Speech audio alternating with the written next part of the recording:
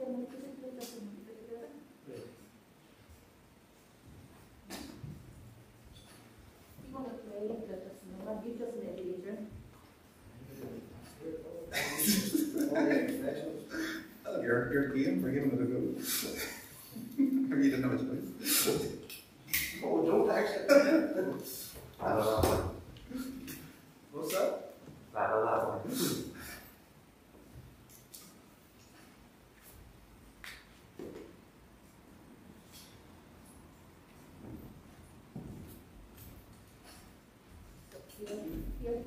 English or you will be better than.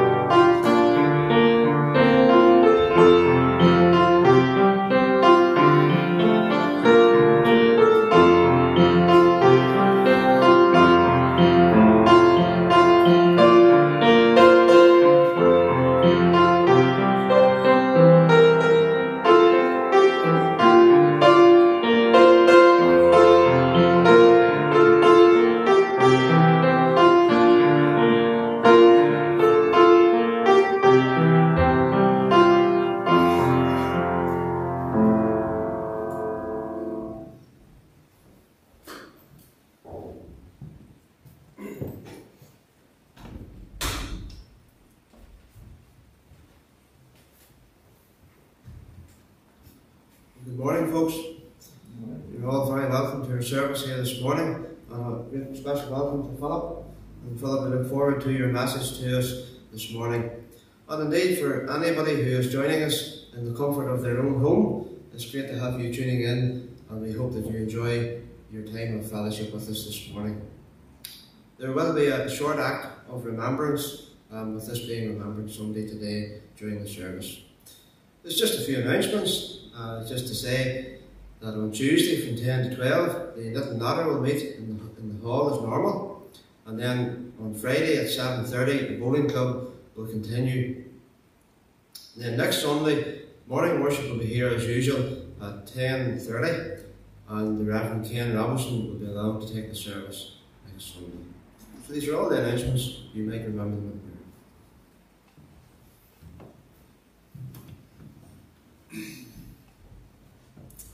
Thank you, Mark, for those words of welcome and the announcements. It's great to be here to, to worship God together on this Remembrance Sunday.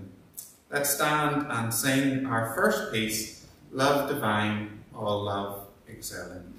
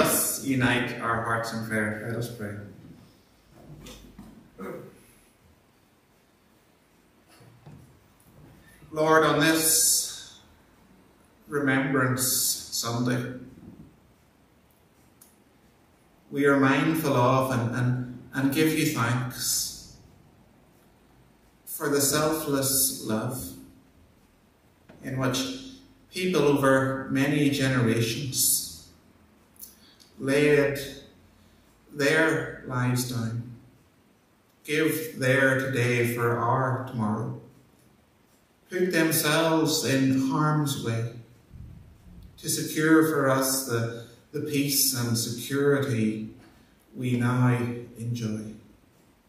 And through those acts of, of selfless love, we are pointed to the divine love we just sang about, in which you entered our world as a, as a helpless babe, born into poverty, taking on the form of a servant, of no account or significance in this world, becoming obedient to the point of death, even death on the cross, where you suffered the, the fullness of the divine wrath and judgment we deserved in, in our place so that through your selfless act of sacrifice, we might receive eternal life, eternal peace, eternal freedom. We thank and praise you for that great love this morning.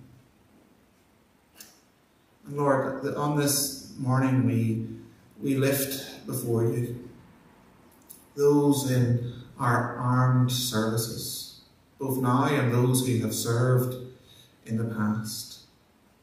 Many of them carry physical and emotional scars. We pray for your healing in their lives. We pray that they will be provided with all that they need, that they will know your, your presence with them and your grace sufficient for them. We, we pray for those um, defending our freedom today, putting themselves in, in harm's way. We ask for your protecting hand over them. We pray that through all that they face, they will be pointed to you and find lasting life, assurance, and comfort in you. Watch over them and, and, and help them in their task. Lord, we also lift before you places in our world where there is conflict. In all those countries and regions, we ask for peace. We pray for political leaders in all areas of, of conflict to, to work together for, for peace and, and the well-being of, of all they represent.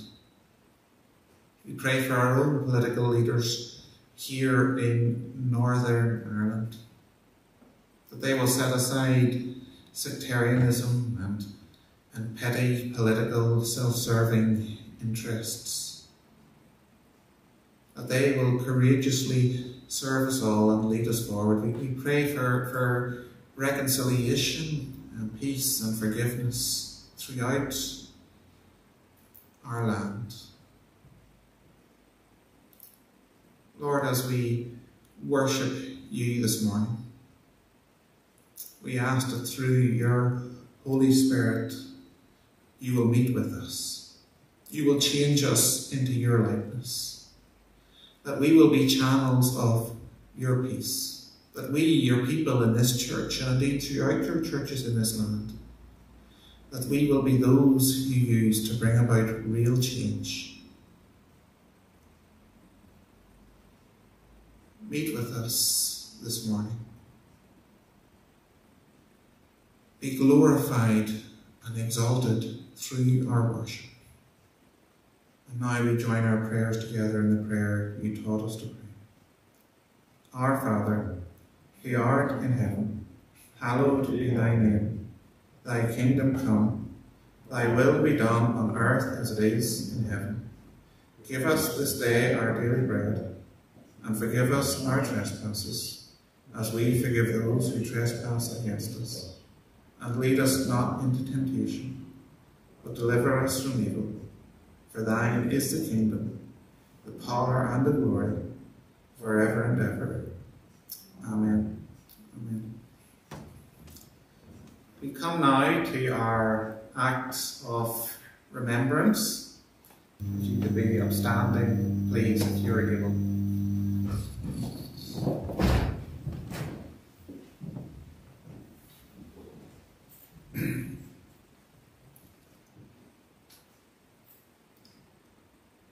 They shall not grow old, as we that are left grow old. Age shall not weary them, nor the years condemn. At the going down of the sun and in the morning, we will remember them. We will remember them. Please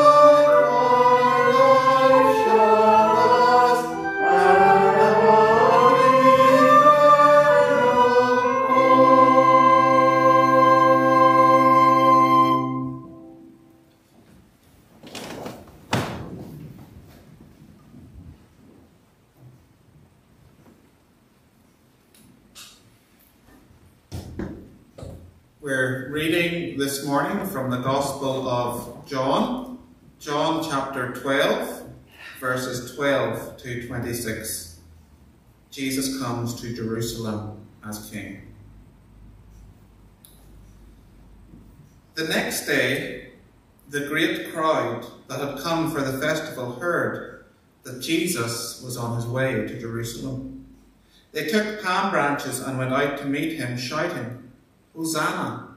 Blessed is he who comes in the name of the Lord.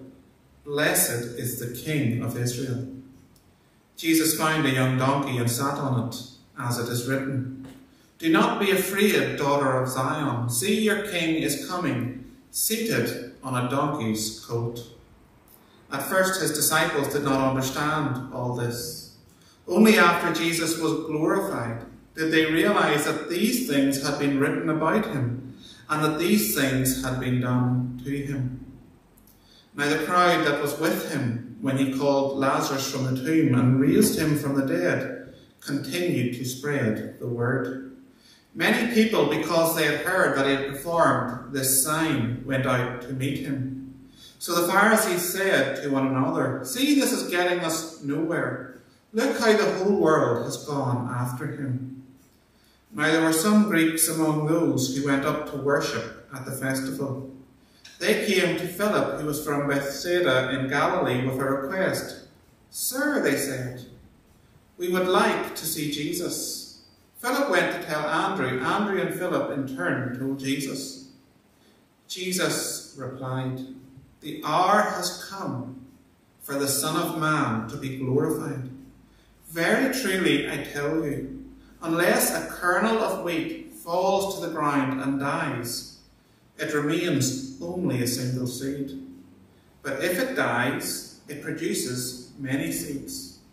Anyone who, live, who loves their life will lose it, while anyone who hates their life in this world will keep it for eternal life. Whoever serves me must follow me, and where I am, my servant also will be. My Father will honour the one who serves me. We thank God for his word to us this morning. Recently, I came across the life story of Lieutenant Colonel William Dobbie. In the year 1893, at the age of 14, he put his trust in Jesus Christ for salvation.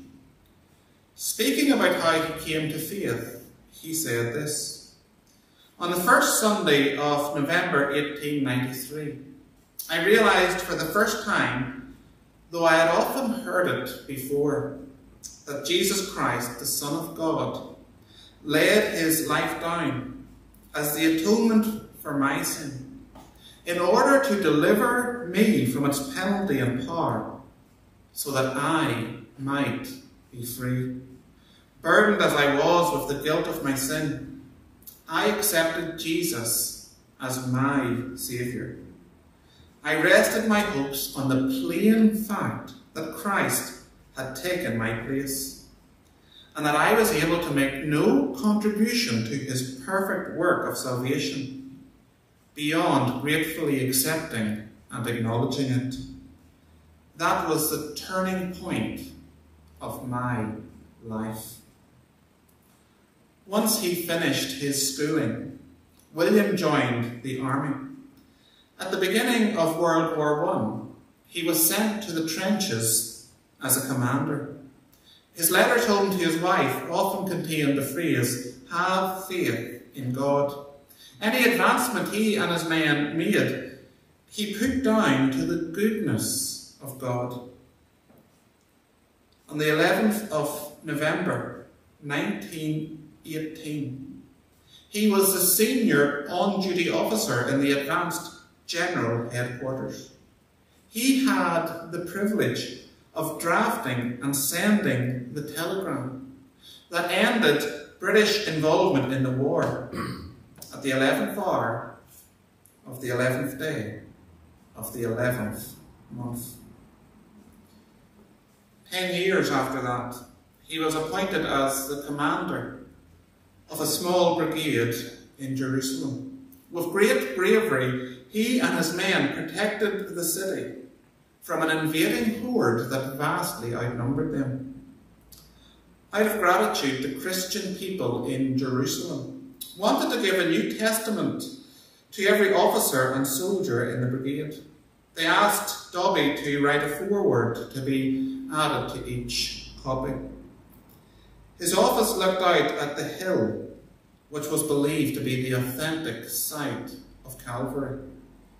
Sitting at his desk, inspired by the view, he wrote these words You are stationed where the central event in human history took place, namely the crucifixion and death of the Son of God. You may see the place where this took place, and you may read the details in this book. As you do this, you cannot help being interested. But your interest will turn into something far deeper when you realize that it was for your sake that the Son of God died on the cross here. The realization of this fact cannot but produce a radical change in one's life. And the study of this book under God's guidance will help you to such a realization. Lieutenant Colonel William Dobbie saw his comrades give their today for our tomorrow. He put his life on the line to gain for us the peace and security we now have. He sent the telegram that rightly makes this day the most important day in our national life. Yet, it was the crucifixion of Jesus Christ and not the armistice which he described as the central event in human history. Why? Because the difference the armistice made in his life, as great as that was, paled into insignificance when compared to the difference that Calvary made. The former gave him temporary peace, security, and freedom, whilst the latter gave him eternal peace, security, and freedom. This passage affirms to us what William Dobbie told his men, namely that the central event in human history took place on the hill called Calvary. The realization that Jesus Christ died there personally for you will produce radical and lasting change in your life.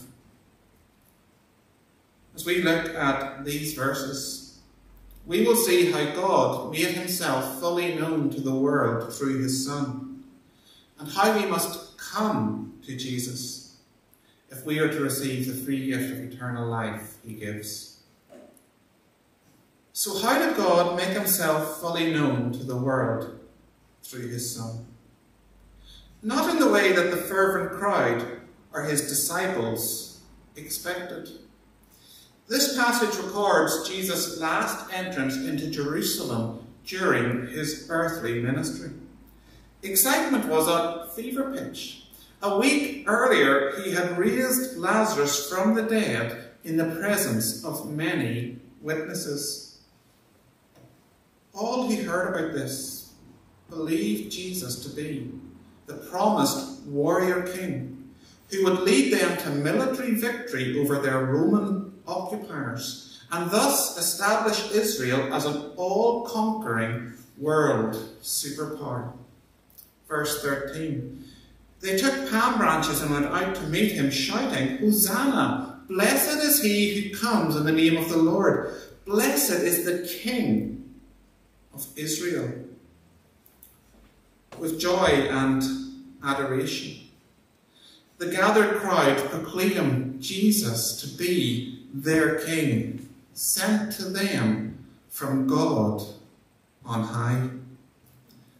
Previously, as recorded in John chapter 6, when a crowd tried to take Jesus and make him their king, he withdrew from them because his time had not yet come. But now he acts differently, because at long last his time has come. Instead of trying to get away from the adulation and play it down, he embraces it in a way that says, Yes, I am God's promised Saviour King. Yes, this is the praise I am rightly due. After Jesus' entrance into the city, Andrew and Philip come to him in order to tell him that there are some Greeks who wish to see him. Jesus responds to their request with these words The hour has come for the Son of Man to be glorified, for God to make his power and greatness fully known to the world through his Son. How Andrew and Philip's hearts must have been thrilled by that statement.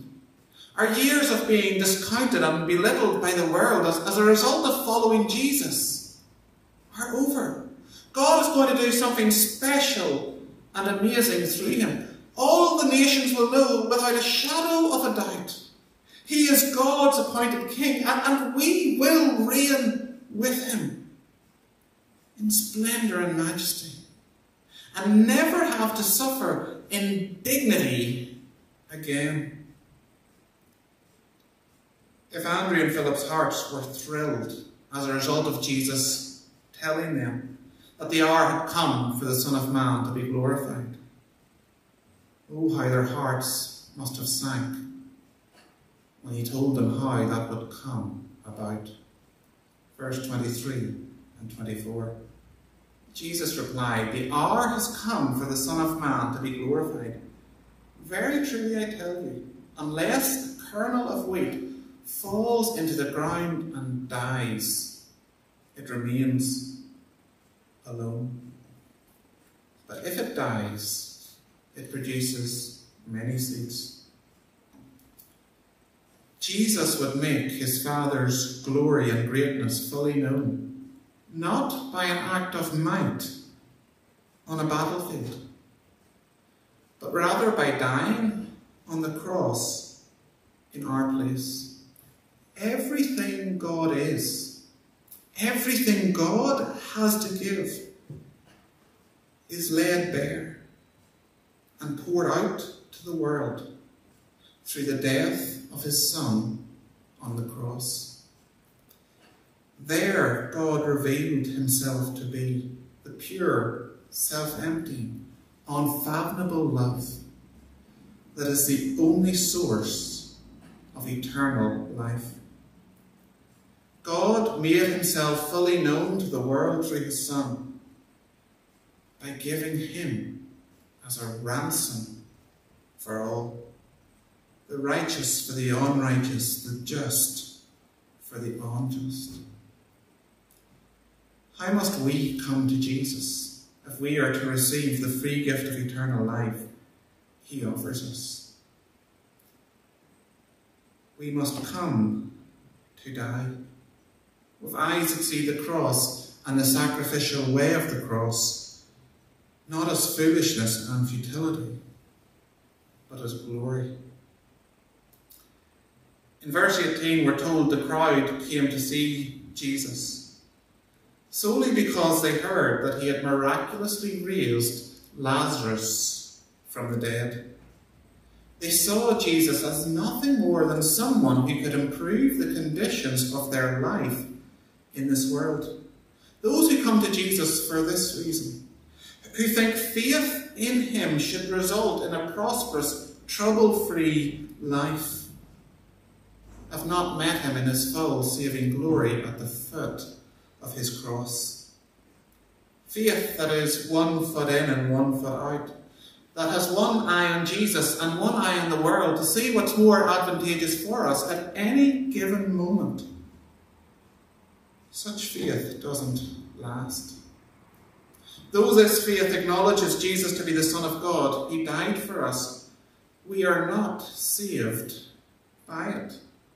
John says this about it in verses 42 and 43 of this chapter. Yet at the same time, many even among the leaders believed in him. But because of the Pharisees, they would not openly acknowledge their faith for fear that they would be put out of the synagogue. For they loved human praise more than praise from God. Faith that is true faith does not have one eye on Christ and one eye on the world. It has both eyes on Him and both feet in. It sees the praise of man and everything else this world has to offer as emptiness and loss in comparison to the unsurpassable worth of knowing Jesus as our only hope and Saviour. Come to Jesus Christ in true faith. Come without hope in yourself, to die at the cross to everything you lived for apart from Him. In the one who gave Himself over to death, that you might be part of the fruit He bears to God. You will find lasting life, fulfillment, and peace.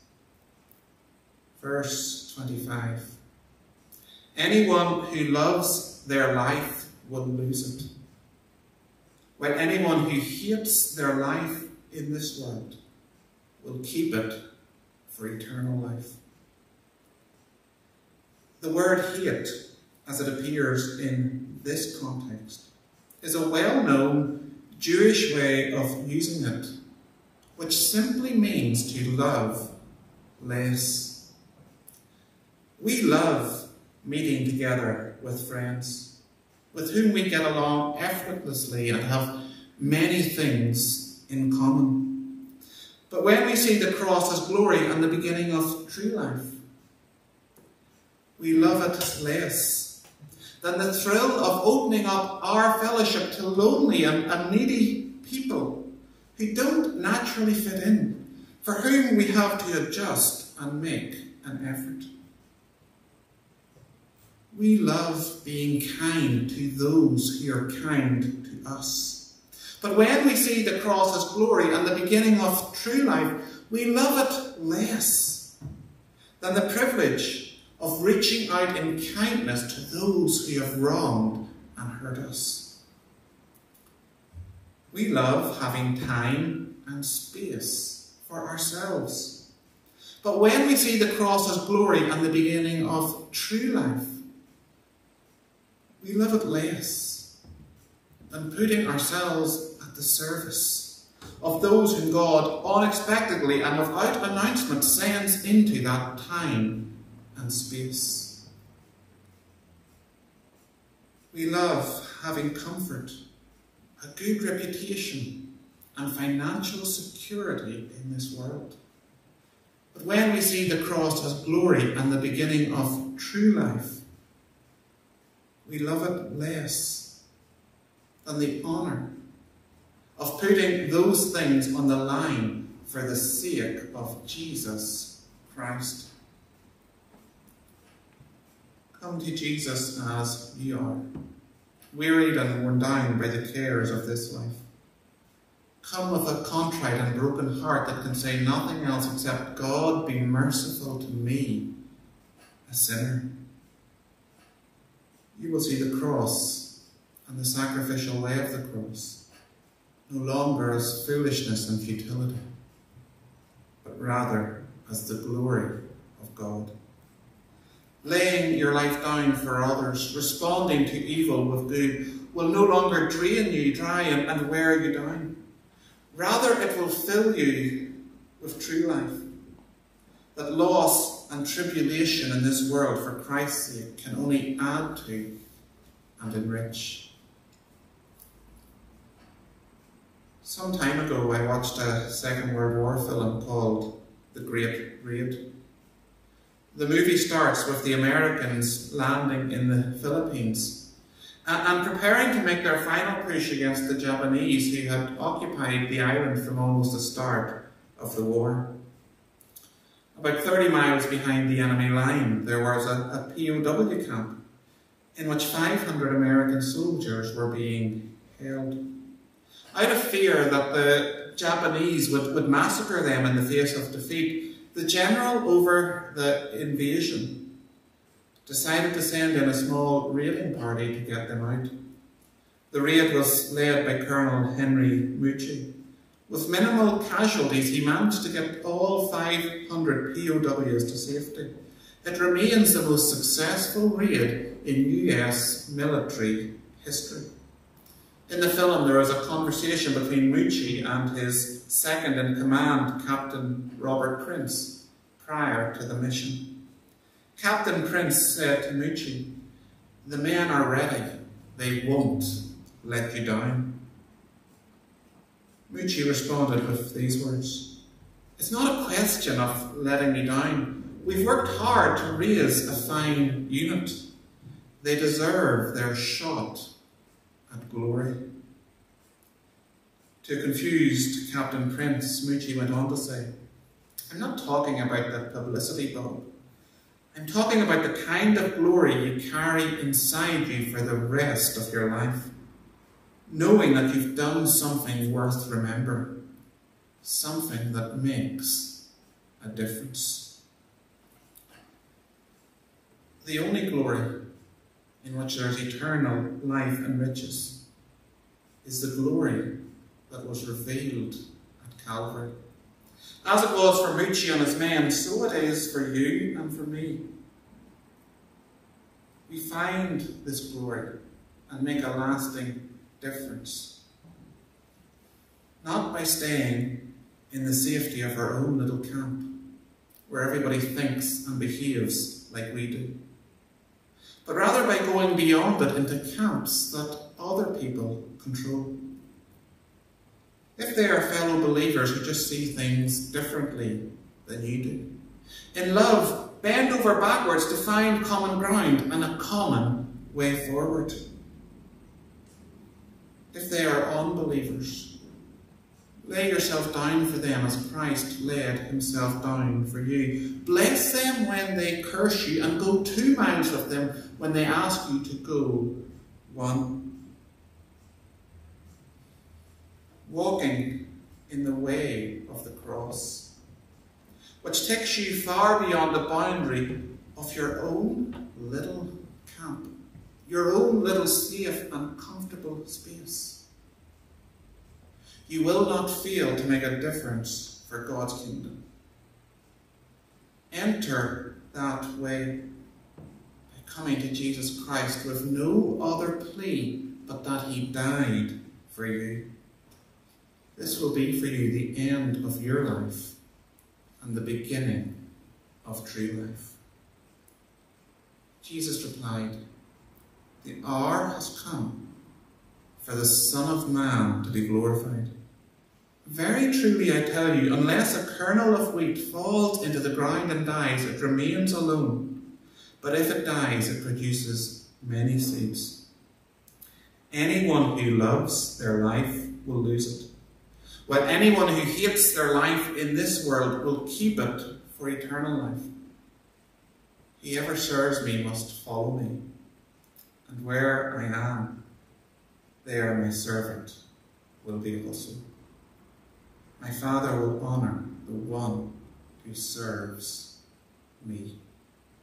We thank God for his word to us this morning. Let's stand and sing our closing hymn.